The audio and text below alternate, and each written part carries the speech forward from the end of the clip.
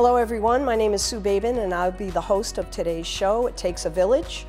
The show is an initiative of the Village for Rhode Island foster and adoptive families to provide information to foster and adoptive and kinship families within Rhode Island um, who have made a commitment to foster or adopt a child. Um, we've created the show as part of an outreach effort to provide information and support to families and to potentially recruit recruit more families to be an anchor, and to provide insights and personal experiences on available resources within Rhode Island.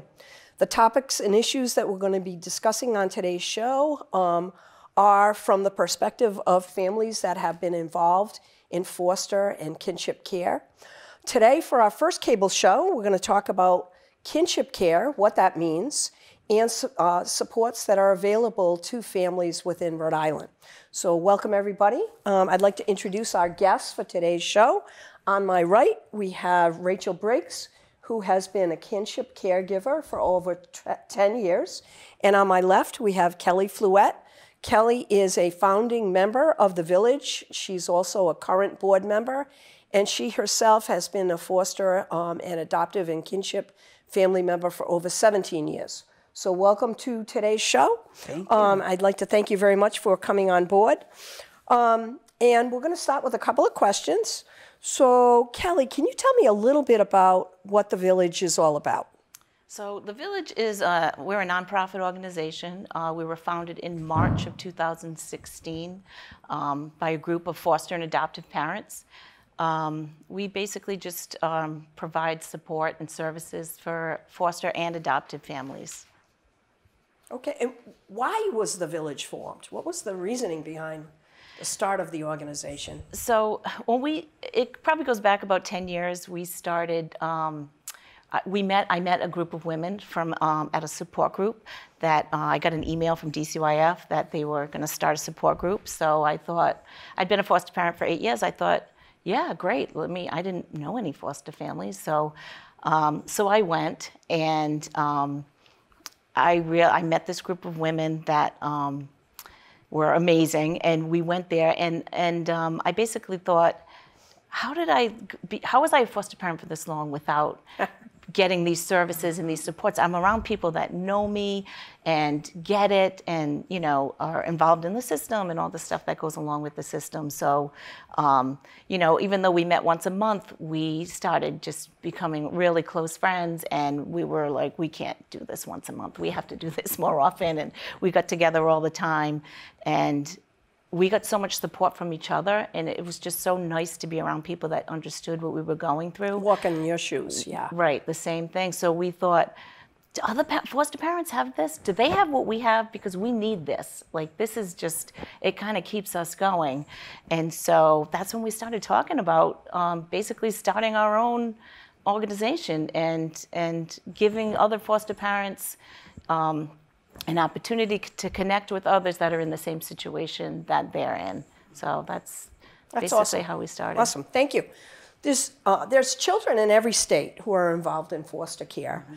and it's an opportunity for anyone to provide stability in a child's life um, who cannot say, stay safely in their own home. So, Rachel, can you tell us a little bit about so what is the difference between foster care and kinship care? What exactly does kinship care mean? Sure. So there's like an inside joke amongst kinship providers, and we'll say, "When did you get the call?" right? And we all compare stories. Did you get it at three in the morning? Did you get it at two?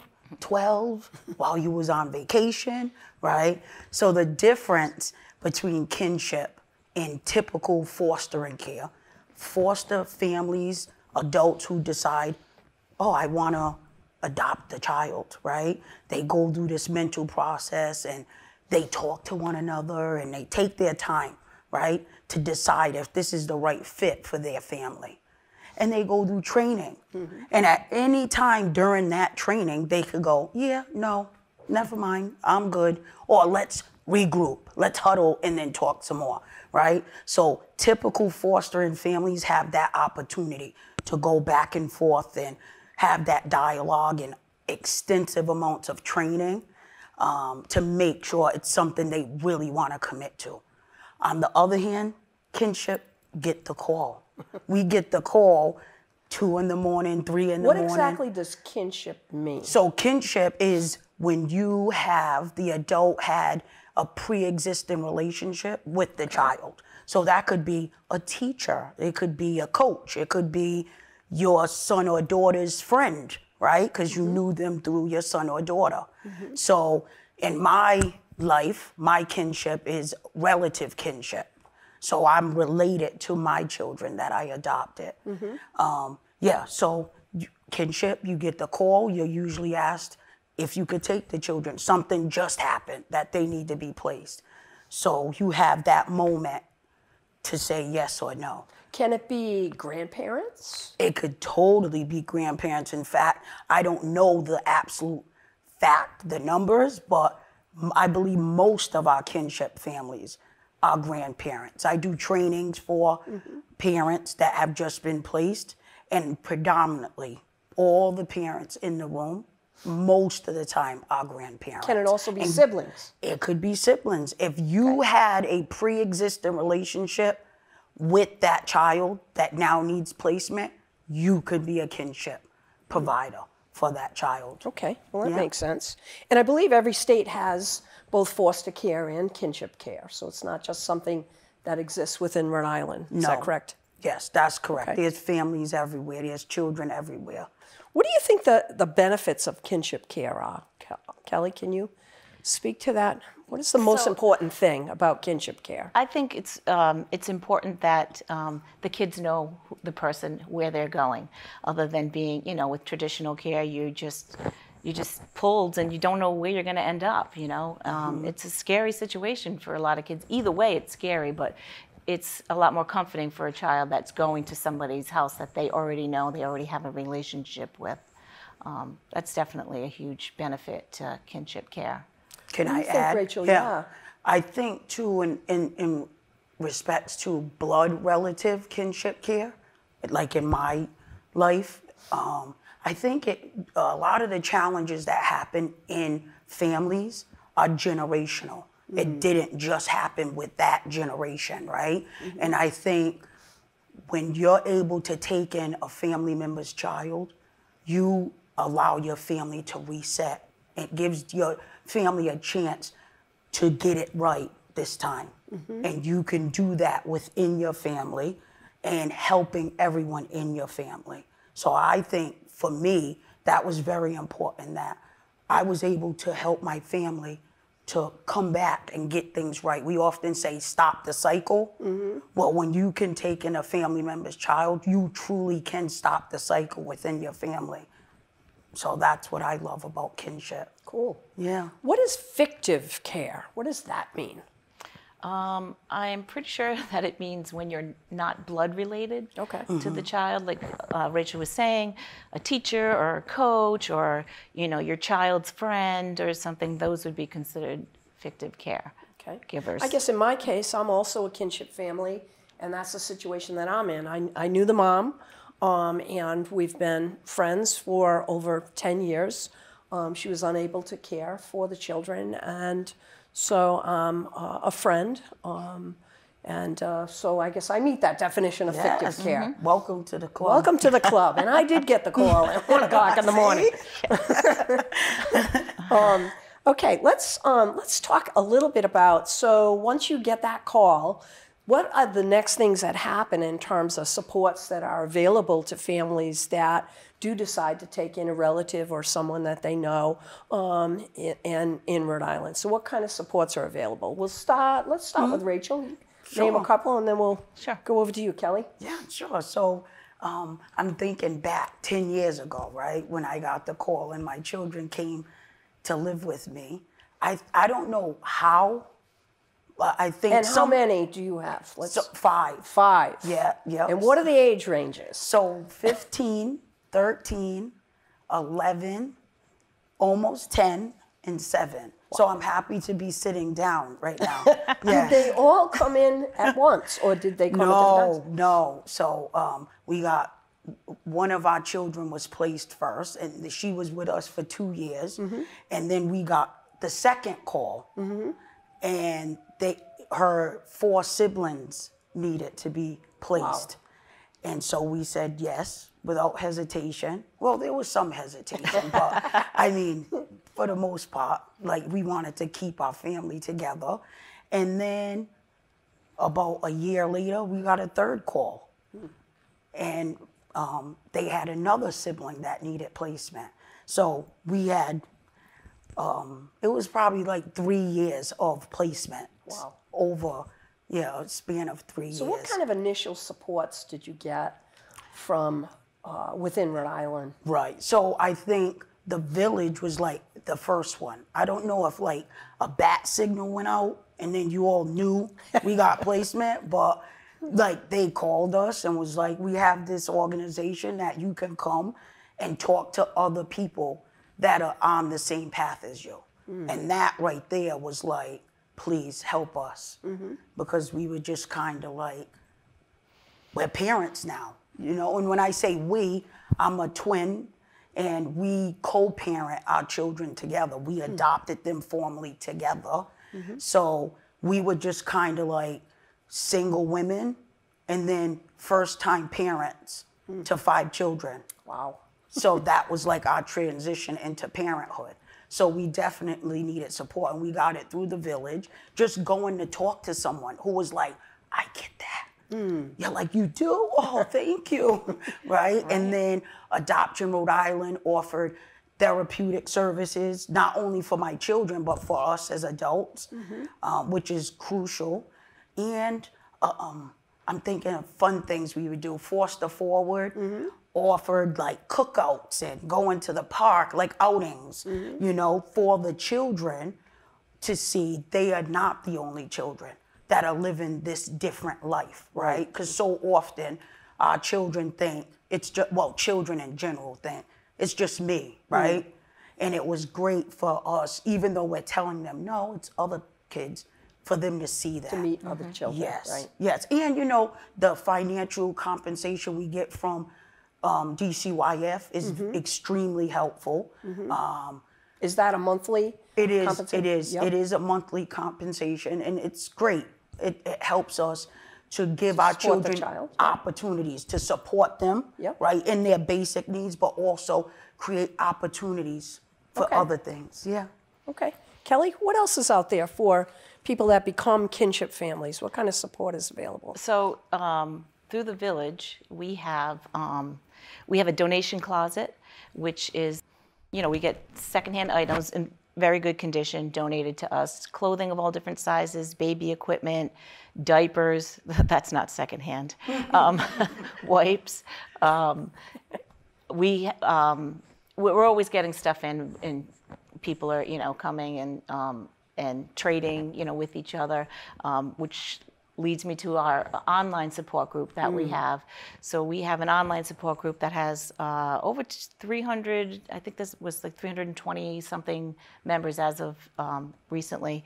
Um, and um, that's a huge support for people because um, we, we also offer in-person you know support groups um, throughout the state. We have different um, locations throughout the state. Of course, it's virtual now because of COVID, but um, not everybody can make it to, You know, Right. so the online support is is good because those groups are once a month, and um, like I said, they're online. But when we had them in person, we offer um, dinner and babysitting services, so parents can come, bring their kids, and they don't have to worry about that. Um, it's an hour and a half. Um, now we're doing it virtually, so we're having them later at night. Um, but not everybody can come, and sometimes people are in a crisis and they need advice right away. So that's why they go onto the online group. And the online group is extremely active and extremely helpful.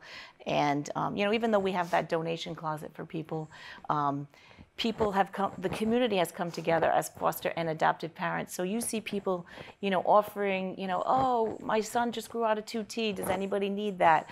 And then someone's like, yeah, I could use it. And, and someone else chimes in, well, I have the next size up if you need that. So it's, it's great that we have that closet, but we also have our community together that can, can Well, that's awesome that the families are helping each other out. Yeah. Um, well, th- uh, for the second half of our show, we're going to talk a little bit more about supports Um, I know the time went by really quickly. Um, I'd like to thank both of you for, for coming to today's show and talking about your own personal experiences and sharing some information with people that are out there, um, which is really important. So thank you both. Thank you. You're welcome. Welcome back to the second half of our show. And on my left, we have Lori Tapazada. Um, Lori is a kinship caregiver who works closely with the Rhode Island Department of Children, Youth, and Families to support kinship caregivers. And she's also the chairperson of the Rhode Island Kinship Council. So we're going to talk about that. And we're going to continue to talk with Kelly about supports that are available within Rhode Island. But first, let's talk a little with Lori. So, Lori, can you share some information with us about um, f- uh, children that are in foster care within Rhode Island? All right. So in Rhode Island, we have, you know, close to 2,000 kids in care. It's mm-hmm. actually about 1,800 and something. And the number of kids in care is actually going down, believe it or not, because of the work that Rhode Island puts into identifying and finding kinship caregivers. Because, you know, as the ladies talked about earlier, there's so many benefits to that, but one of them is actually having the stability of the kids put in the kinship home. Right. So, and what then- percentage of kids are actually in uh, kin- with kinship families? Well, believe it or not, seventy percent of kids that are in care are in kinship homes, Wow. and I have That's to say awesome. it is beyond awesome because Rhode Island is a leader in the U.S. Hmm. for taking that time to search, find you know kinship providers and place the, the children in kinship care. That percentage is right up at the top of you know of the states. So we are doing an awesome job in Rhode Island around that. And so, why has we talked a little bit about this before? But why has Rhode Island, um, through DCYF, um, uh, identified kinship care as the best um, placement for children? Well, the thing is, uh, foster care has evolved so much over the years. Um, and I may be revealing my age by saying back in the day, um, you know, the department didn't even really want to communicate with the families of origin. It just was a no no. Hmm. And now here we are, there's a growing realization across the nation hmm. of the importance of kinship caregivers and have come to now understand through many, many longitudinal studies that kids do so much better when they're placed within kin instead of in a community placement. They, the ladies already mentioned, it's less traumatic Yep. because they're going into a place they know. Um, it helps them retain their self identity because it's weird like when you go from one home and then you know all of a sudden you're in a different community maybe with a, diff- a family of a different race or whatever it's confusing so it helps them maintain their identity and they have found that when they follow the kids along the kids have much better outcomes as adults you know um, for compared to kids that had to be taken out of home and placed with community foster families So it's definitely less traumatic. I mean, that's it's a way less traumatic. Um, the kids do so much better. Mm-hmm. And so we've come to understand that not only do we want to talk to the biological families, but we want to keep the kids as much as possible within either their biological family, extended family, or with families, you know, that are already known to the family or to the child. Okay. So tell us a little bit about some of the resources that are available to families that uh, are involved with DCYF as kinship. Okay. So I believe Rachel brought up what a shock it can be to become a kinship family. there were no planning involved. You might suddenly, you know, you went to bed with no children and the next day you woke up with a baby and 2 toddlers. Um, and a lot of times you're not prepared.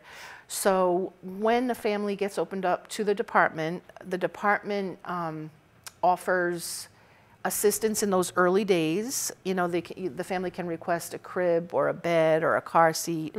Um, under certain circumstances, if needed, maybe an emergency clothing voucher, or you know, they support them as well as they can. After that, they offer a monthly stipend mm-hmm. that's meant to go toward the care of the child. Mm-hmm. They offer daycare for working families, which mm-hmm. is critical because sometimes that's one of the most painful things. It's like, how do I go to work until I get these kids in care? And they also offer um, medical mm. to all of the kids in care. And then in addition to that, I'm very proud to say that, um, you know, as I said, Rhode Island's doing so well, you know, with, with finding kinship families. but the department also realizes that's not enough. I can place the kids in the kinship families and then just say, okay, there was a belief at one time that, okay, they're in their families, we don't have to worry about it. No, kinship families need support. They need support. So um, the department has been building supports around kinship families, one of which is a peer mentor program, which I run.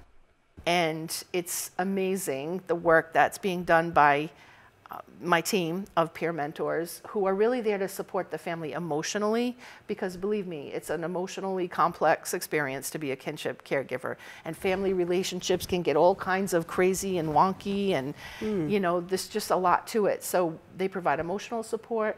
They answer questions because sometimes you know the social workers as i'm sure everybody knows they have huge caseloads they are so busy. So sometimes it's hard to get a hold of the social worker you know quickly. Mm-hmm. So the peer mentors can actually answer questions for the family. They can help teach the family how to advocate for themselves if there's something going on that the family's upset about you know so they can actually teach them you know who do you talk to? How do you do it? To help advocate to resolve some of those issues that they have they give them information, they give them referrals, and they try like heck to transition a family, you know, after a certain period of time to community support. So for example, let's say someone's been in the peer mentor program six months, things have stabilized, but we don't want to just say, okay, well, it was nice knowing you. We try to transition them into support groups, as Kelly was talking about, you know, through the village or through Adoption Rhode Island. Um, you know, or the online group. So we try to make sure that they're connected to every possible community resource that they can be. I know for me, when I first um, became a, a kinship caregiver, um, no one in my family had ever been involved in foster care.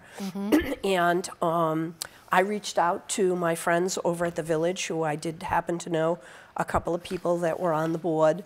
And it was incredibly reassuring to meet other families that had been through the process, that knew the questions to ask, because as a new family coming into the system, you don't know what you're eligible for, you don't know Nope. who to talk to or where to go. That's right. Um, I was able to get some clothing um, for um, my child um, initially, and Foster Forward also came over with a bag of clothes and also offered um, some support through their, their organization. So that was really important to me to meet other people that Me too. had already been uh, a foster parent or a kinship caregiver. So I think we can't underestimate that No. that point that when people do become an anchor in a child's life um, and decide to enter into foster care, that there's other tons of families out there that you can talk with at any time about whatever the issues are. No, so that's sure. really important. Can you tell us a little bit about some of the community resources? I know Kelly mentioned some stuff, but other kinds of things that are available to families that are out there. Well, there's some types of supports that are available to all families, and if families haven't been involved before, like for example, um, food stamps. Yep. You know, as an example, heating Yep. assistance. Yep. Cash assistance, whatever. If if you know there are community supports out there that our peer mentors can help to connect our kinship families to. So they're help like a them- bridge. Like a bridge, Yeah. exactly. And then of course they have to be eligible just like any other family. So Mm-hmm. it's not an automatic. Um, we make sure they get connected to WIC, um, you know, and that kind of thing. And then the village is a huge resource for families, and um, the department does partner with the village and with Adoption Rhode Island to, to you know, be able to offer kinship-specific support groups. Because the thing is, when you're kinship, you know, if you're in a regular support group for, you know, uh, community foster families, a lot of what you might talk about is navigating the relationship with the bio family and I'm having this and that challenge or whatever. And as a kinship, you're sitting there going, yeah, so it's my daughter. you know, so it's you just don't have that same comfort level. But when you're in a room with other kinship families, it's such a relief Makes because we all understand. Right. You know, and I remember when it first happened with me, I'm raising my grandson. Um, I was in that journey for one solid year Hmm. before I knew anybody else, any other, you know, family. And one day I got a call and somebody said to me, Lori, there's this thing called the village. you have to call these ladies. They get it. They understand. And I was like, all right, I'll give it a try. And I called up and ended up sobbing one hour on the phone. It was such a relief, like, oh my God, I'm not alone anymore. And that's the biggest thing for families that they say when they go to a support group or to a training. Um, the department does offer in-service training and kin-specific training, and the village offers training. That is what, if you ask them what they thought about the training, the first thing on their list is, I know I'm not alone. Tell I'm us, not the um, only one. with the time that we have left, I want to cover briefly, um, there's a Rhode Island Kinship Council. Yes. So what is the purpose of the Kinship Council? The purpose of the Kinship Council is because. And what is it? Well, it, it's a group that comes together, um, and the group includes different areas from with, within DCYF, um, other state departments that impact in one way or another the lives of kinship caregivers, with health, you know, um, resources like community health or Bradley or whatever, with faith-based organizations, and of course, most importantly, with kinship caregivers to come together around the table and to really sit and discuss and identify the needs of kinship families because that voice has been missing.